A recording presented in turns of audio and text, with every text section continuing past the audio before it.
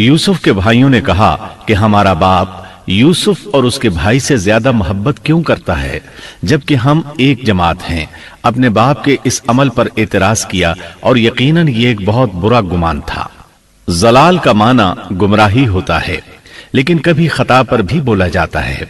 और उन्होंने बाहमी मशवरा किया और सोच विचार के बाद यूसुफ अलैहिस्सलाम के कत्ल की तजवीज तय हुई। अल्लाह ताला आयत नौ में फरमाते हैं। यूसुफ को तो मार ही डालो, या ऐसे किसी नामालूम जगह फेंक दो कि तुम्हारे वालिद का रुख सिर्फ़ तुम्हारी तरफ़ ही हो जाए। इसके बाद तुम नेक हो जाना। मतलब ये कि वो आपस में कहने लगे, यूसुफ को कत्ल कर दो। इस पर बड़े भाई यहूदा ने मुदाखलत की और कहा, कत्ल बहुत संगीन जुर्म है। इस पर वो बोले, तब फिर इसे कहीं गायब कर दो, ताकि बाप की तवज्जो तुम्हारी तरफ़ हो जाए और यूसुफ वाली रुकावट खत्म हो जाए। देखिए कैसी सोच है। पहले बुराई करेंगे, फिर तौबा करेंगे और नेक बन जाएँगे। भला क्या ऐसा आदमी जो बुराई इस नियत से करता है, बाद में तौबा कर लेगा? क्या उसकी तौबा कबूल होगी? उलमा फरमाते हैं, तौबा का दरवाज़ा खुला है। अल्लाह ताला रात के वक्त सदा देता है कि दिन को बुराई करने वाले तौबा कर ले और दिन को आवाज़ देता है, रात को बुराई करने वाले तौबा कर ले। कोई तौबा का दरवाज़ा बंद नहीं कर सकता। यहाँ तक कि इंसान जितनी बार भी गुनाह करके तौबा करे, अल्लाह कबूल करता है। इसलिए अल्लाह ने उनकी तौबा कबूल कर ली। ताहम इस बात से डरना चाहिए कि अगर गुनाह करने के बाद तौबा का मौका ही न मिले और मौत आ ले तो क्या होगा? ये बात निहायत ही खौफनाक है कि तौबा का मौका ही ना मिले। अल्लाह ताला आयत नंबर दस में फरमाते हैं उनमें से एक ने कहा, यूसुफ को कत्ल तो न करो, बल्कि इसे किसी अंधे कुएँ की तह में डालाओ कि इसे कोई आता जाता काफिला उठा ले जाए। अगर तुम्हें करना ही है तो यूँ करो। यहूदा ने उन्हें कत्ल से रोका और कहा, कवासिम के रास्ते में अमूकी नाम का कुआँ है, इसे उसमें डाल दो। कोई गुजरता हुआ काफिला इसे उठा ले जाएगा।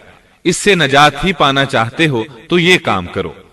सबने इस बात से इत्तेफाक किया। अब अपने बाप के पास गए। बाप से उन्होंने जो कहा आयत ग्यारह और बारह में आता है। उन्होंने कहा अब्बा आखिर आप यूसुफ के बारे में हम पर एतबार क्यों नहीं करते?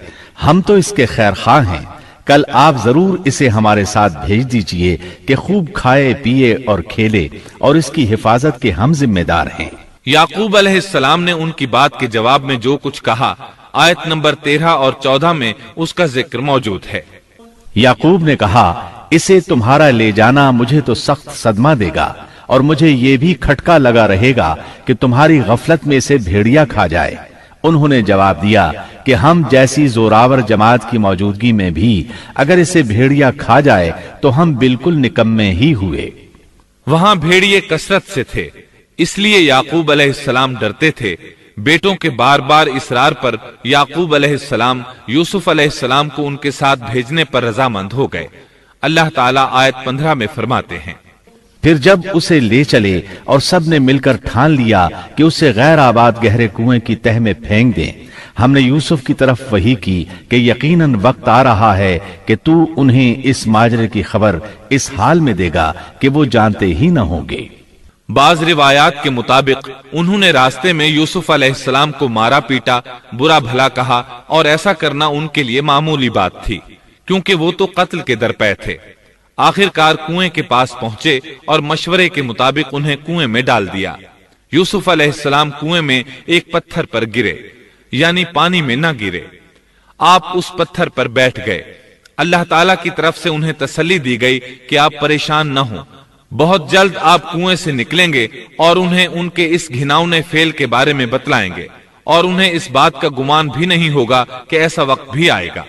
यूसुफ अलैहिस्सलाम को कुएँ में डालने के बाद उन्होंने घर जाने की तैयारी की। आयत नंबर 16 में आता है और ईशा के वक्त वो सब अपने बाप के पास रोते हुए पहुँचे। इमाम आमश काजी शुरह रहमतुल्लाह की मजलिस में बैठे थे। एक औरत आई। उसका एक आदमी से झगड़ा था।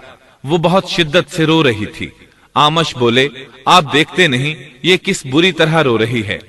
उनका मतलब ये था कि ये सच्ची है। काजी शुरह फरमाने लगे, यूसुफ अलैहिस्सलाम के भाई रात को रोते हुए अपने बाप के पास आए थे। बस फैसला रोने पर नहीं, इंसाफ पर होना चाहिए। अब यूसुफ अलैहिस्सलाम के भाइयों ने बाप को तफसील सुनाई। अल्लाह ताला इसका ज़िक्र आयत सत्रह में फरमाते हैं। और कहने लगे कि अब्बा जी हम तो आपस में दौड़ में लग गए और यूसुफ को हमने सामान के पास छोड़ा। बस उसे भेड़िया खा गया। आप तो हमारी बात नहीं मानेंगे। गो हम बिल्कुल सच्चे ही हों। सो उन्होंने ये बात बताई लेकिन इससे झूठ साफ़ ज़ाहिर हो रहा था जैसा कि अगली आयत में है। और यूसुफ के कुर्ते को झूठ मूठ के खून से खून आलूद भी कर लाए थे। इब्ने अब्बास रज़ी अल्लाह फरमाते हैं कि उन्होंने बकरी जबह की और यूसुफ अलैहिस्सलाम की कमीज पर उसका खून मल लिया और खून में लथपथ कमीज याकूब अलैहिस्सलाम के पास ले आए। जब याकूब अलैहिस्सलाम ने देखा तो फरमाने लगे, ये भेड़िया भी कितना रहम दिल था। मेरे बेटे को तो खा लिया और कमीज को कुछ नहीं कहा। तुम्हारी अक्ल कहाँ है? इस बात का ज़िक्र आयत 18 में है। बाप ने कहा, यूँ नहीं, बल्कि तुमने अपने ही दिल से एक बात बना ली है। बस सब्र ही बेहतर है और तुम्हारी बनाई हुई बातों पर अल्लाह ही से मदद की तलब है। उधर दूसरी तरफ़ क्या हुआ? आयत 19 में अल्लाह फरमाते हैं। और एक काफिला आया और उन्होंने अपने एक पानी लाने वाले को भेजा। उसने अपना डोल लटका दिया और कहने लगा वाह वाह खुशी की बात है। ये तो एक लड़का है। उन्होंने उसे माले तिजारत करार देकर छुपा दिया और अल्लाह उससे बाखबर था जो वो कर रहे थे। तफसील इसकी ये है कि एक काफिला उस कुएँ के पास से गुजरा, जिसमें यूसुफ अलैहिस्सलाम मौजूद थे। उन्होंने पानी की तलाश में एक खादिम को भेजा। वो कुएँ तक पहुँचा। उसने कुएँ में डोल लटकाया। यूसुफ अलैहिस्सलाम उस डोल में बैठ गए। खादिम ने डोल निकाला तो उसमें एक खूबसूरत बच्चे को देखा। मारे खुशी के वो पुकार उठा। यहाँ एक लड़का है। उस जमाने में गुलामों और लौंडियों की तिजारत होती थी। उन्हें खौफ महसूस हुआ कि कहीं ये लड़का उनसे छिन न जाए। इस खौफ के पेशे नज़र उन्होंने यूसुफ अलैहिस्सलाम को छुपा लिया। उन्होंने ये भी सोचा कि शायद ये भागा हुआ गुलाम है। अगर इसका मालिक आ गया तो वो उसे ले जाएगा। ये काफिला मदाइन से मिस्र जा रहा था। जब ये मिस्र पहुँचे तो उन्होंने यूसुफ अलैहिस्सलाम को मामूली कीमत में फरोख्त कर दिया। मामूली कीमत में फरोख्त करने की जल्दी भी उन्होंने इसी ख्याल के तहत की कि कहीं उसका मालिक ना आ जाए।